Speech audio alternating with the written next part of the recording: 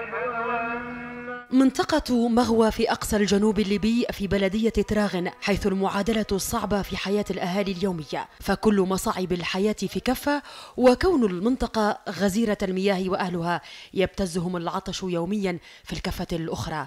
لا لشيء إلا لأن مياه البئر الرئيسية والوحيدة للمنطقة والتي تم حفرها في سبعينيات القرن الماضي مياهها مالحة لا تصلح للشرب. نعاني معاناة شديدة الحقيقة من مياه الشرب وهو البير كما رأيتموه وهو محفور من 74 وهو على حالته الطبيعية لم يتغير والخزان الذي هو خلفي كما تشاهدونه وهو متهالك من سبب المياه المالحة مما تسببت لنا في أضرار جسيمة من الأمراض سواء جلدية أو أمراض الحديد سبب في مرض الكلاوي. يضطر أهالي منطقة مغوى للذهاب إلى مدينة تراغ يوميا يقطعون خلالها مسافة 30 كيلومترا للحصول على مياه عذبة ونقية من آبار المدينة أو محلاتها التجارية. كما تعلمون إحنا بلادنا دولة نفطية غنية أو هذه حالنا كيف ما تشحوه. وناشدنا جميع الحكومات سواء الحكومة السابقة والحكومة هذه لم نرى أي تغيير على هذه الأرض.